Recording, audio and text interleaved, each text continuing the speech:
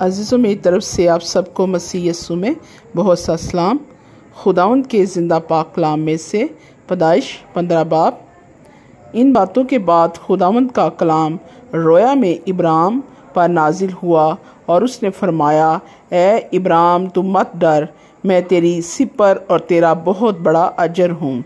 इब्राम ने कहा, ए खुदावन खुदा, तू मुझे क्या देगा? क्योंकि मैं तो बे औलाद जाता हूँ। मेरे घर का मुख्तार नमक की अलाजर है। फिर इब्राम ने कहा, देख, तूने मुझे कोई औलाद नहीं दी और देख, मेरा खानाजाद मेरा वारिस होगा। तब खुदावन का कलाम उस पर नाजिल हुआ और उसने फरमाया ये तेरा वारिस ना होगा, बल्कि वो जो तेरे सुलभ से पैदा होगा, वही तेरा वारिस होगा।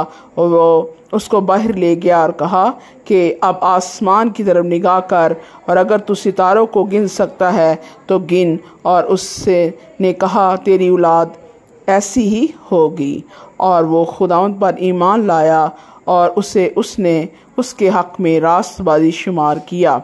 और उसने उससे कहा कि मैं खुदावन हूँ, जो तुझे कसदियों के ऊर से निकाल लाया कि तुझको ये मुल्क मेरास में दूँ।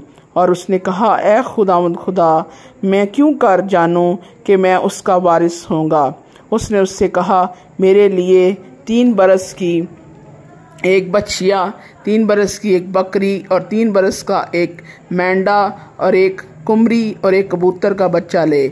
उसने उन सबों को लिया और उनको बीच से दो टुकड़े किया और हर टुकड़े को उसके साथ के दूसरे टुकड़े के मुकाबले रखा, मगर परिंदों के टुकड़े ना किए। तब शिकारी परिंदे उन टुकड़ों पर झपटने लगे, पर इब्राम उनको हाँगता रहा। सूरज डूबते वक्त इब्राम पर गहरी नींद गालिब हो गई और देखो, एक बड़ी होलनाक तारीख की उस पर चाक छा गई और उसने इब्राहिम से कहा, यकीन जान के तेरी नस्ल के लोग ऐसे मुल्क में जो उनका नहीं बल्कि परदेसी होंगे और वहाँ के लोगों की गुलामी करेंगे और वो 400 बरस तक उनको दुख देंगे। लेकिन मैं उस कौम की अदालत करूँगा जिसकी वो गुलामी करेंगे और बाद में वो बड़ी दौलत लेकर वहाँ से निकल आएँगे और तू सही सलामत अपने बाप दादा से जा मिलेगा और नहायत पीरी में दफन होगा। और वह चौथी पुश्त में यहाँ लौट आएँगे, क्योंकि अमूरियों के गुनाह अब तक पूरे नहीं हुए। और जब सूरज डूबा और अंधेरा छा गया तो एक तनूर जिसमें से धुआँ उठता था दिखाई दिया, और एक जलती मिशल उन उन टुकड़ों के बीच में से होकर गुजरी। उसी रोज़ खुदावन ने इब्राहिम से अहद किया और फरमाया, ये मुल्क दरिया मिस्र से लेकर उस बड़े दरिया, यानी दरिया फरात तक कनीनियों और कंजियों